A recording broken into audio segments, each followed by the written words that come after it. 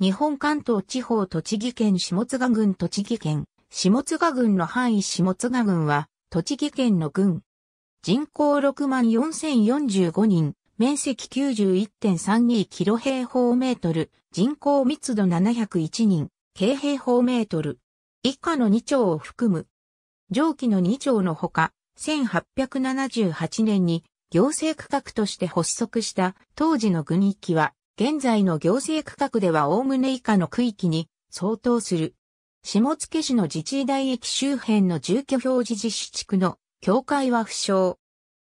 1、栃木町2、大宮村3、国府村4、三部町5、稲葉村6、南犬飼村7、姿村8、国分寺村9、桑村10、絹村11、小山町12、大谷村13、ママ、田村14、野木村15、生井村16、寒川村17、穂積村18、豊田村19、中村20、水穂村21、水大村22、部屋村23、藤岡町24、谷中村25、赤間村26.3、鴨村27、岩船村28、小野寺村29、富山村30、清和村31、皆、川村32、吹上村33、寺尾村34、赤津村35、谷中村。ありがとうございます。